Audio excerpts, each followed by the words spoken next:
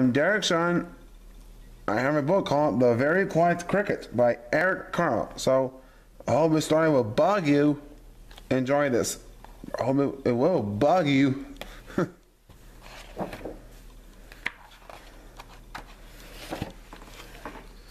One warm day, from a tiny egg, a little cricket was born.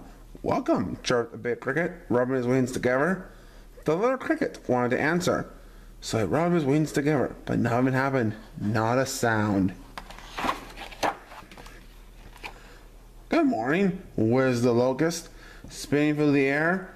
The little cricket wanted to answer, so he rubbed his wings together, but nothing happened, not a sound. Hello, whispered a praying mantis, straightening its huge front legs together. The little cricket wanted to answer, so he rubbed his wings together, but nothing happened, not a sound. Good day, crunched the worm, munching its way out of an apple. The little cricket wanted to answer, so he rubbed his wings together, but nothing happened, not a sound. Hi, bubbled a spittlebug, slithering in a sea of froth. The little cricket wanted to answer, so he rubbed his wings together, but nothing happened, not a sound. Good afternoon, shrieked a cicada, clinging to a branch of a tree.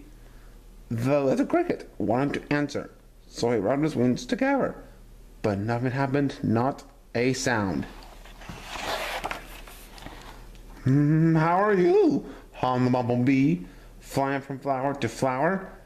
The little cricket wanted to answer, so he rubbed his wings together, but nothing happened, not a sound.